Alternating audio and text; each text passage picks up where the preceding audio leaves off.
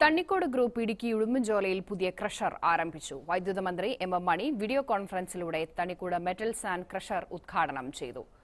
തമിഴ്നാട്ടിലെ ക്വാറിയിൽ നിന്ന് കരിങ്കൽ എത്തിച്ചാണ് ക്രഷറിന്റെ പ്രവർത്തനം. എബ്രഹാം മാർ സെവേറിയോസ് മെത്രോപൊലിത്ത ക്രഷർ വെഞ്ചരിപ്പ് കർമ്മത്തിന് മുഖ്യ കാർമ്മികത്വം വഹിച്ചു. ചലച്ചിത്ര താരം ഏബിൾ ബെന്നി മുഖ്യാതിഥിയായിരുന്നു.